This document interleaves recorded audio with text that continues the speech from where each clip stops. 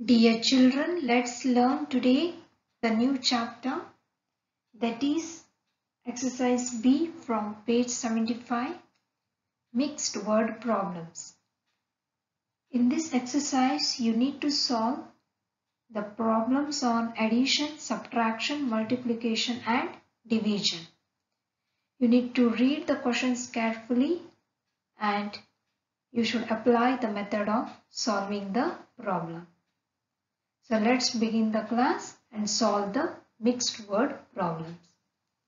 In today's video you have only the three word problems to solve that is problem number 1, 2 and 3. The first question. A book has 72 pages. There are 9 such books on a shelf. How many pages are there in all? So the solution is written. Number 1. One book equals to 72 pages. Number 2. Books equal to 9. Therefore, total number of pages equal to how much? Let's do a solution box here. So, we know that one book has 72 pages like the 9 books are there. So what will be the total number of pages? The problem is you need to do multiplication. Let's write ones and tens. 72 multiplied by 9. Children, multiplication means repeated addition.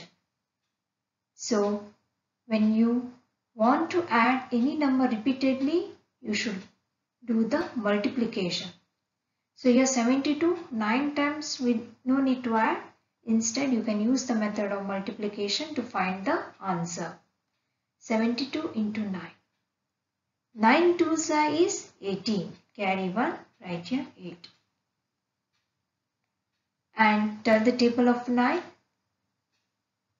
9 sevens is 63. Write here and put a circle and plus symbol. Now 63 plus 1 gives you 64. And what answer did you get? Therefore total number of pages equals to 648 pages. Coming to the second question.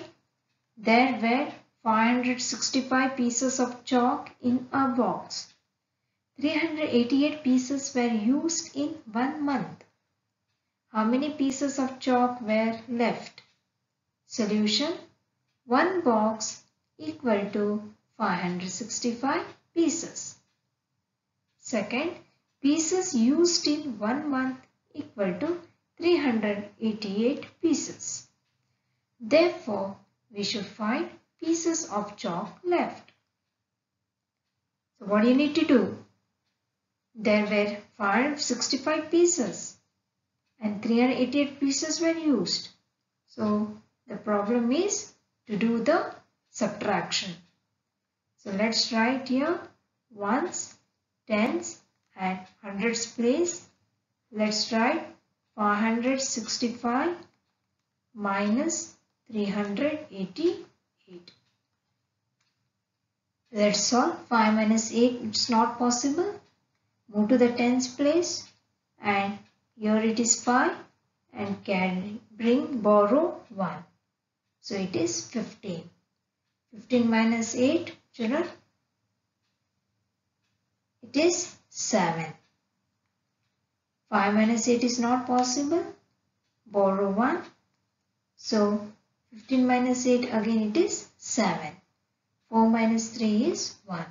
So what is the answer 10? Pieces of chalk left equal to 177 pieces of chalk were left. Go through these two word problems and understand clearly how to solve them.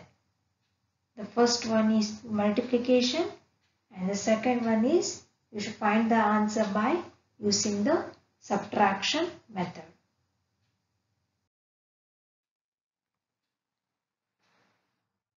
You can see the third word, word problem. An aeroplane carried 130 passengers on the first day, 453 on the second day, and 255 on the third day. How many passengers travelled by plane on all three days? Did you understand children what you need to do here? So which method you need to apply? Is it addition, subtraction, multiplication or division? Okay, let me read the solution for you. Passengers on the first day 130. Passengers on the second day 453. Passengers on the third day 255. Therefore, passengers travelled on plane on all three days. You should find out all three days what are the how many passengers travel the number of passengers travel. So you can understand by reading the word problem that we need to apply the addition method here. Once again let us write ones, tens and hundreds and let's write the numbers here that is 130, 453 and 255. So here we need to add, add the numbers. 5 plus 3 8. Now let us add the tens place 5 plus 5 10, 10 plus 3 is 13. Carry 1, write here 3. 4 plus 1 5, 5 plus 1 6, 6 plus 2 8. What did you get? Passengers travelled on all 3 days equals to how many? 838 passengers. So the total number of passengers you have to got is 838 passengers. Homework for today is to write these three word problems very neatly in your notebook one time.